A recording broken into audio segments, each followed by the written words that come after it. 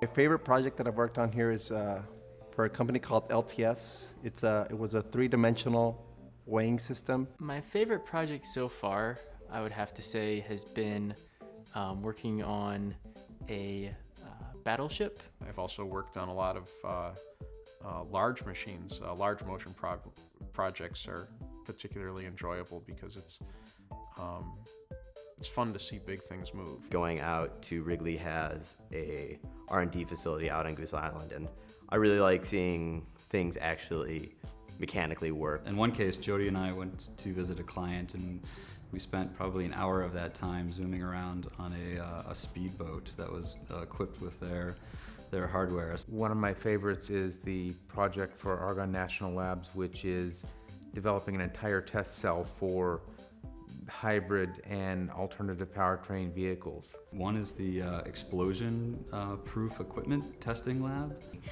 Crystallization furnace, um, which has uh, been very interesting. It's a project that we did for SRAM, which, if you're not familiar with the company, they are a custom specialty bike manufacturer. They actually uh, work closely with Lance Armstrong and the US cycling team.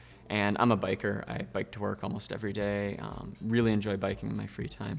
So to me, it was really cool because it, it got to put me on the industry side of things, and I actually got to see how, you know, the pieces and the components and the toys that I play with actually get built and tested and used. So that was a neat project too. DMC. Smart people, Expert solutions.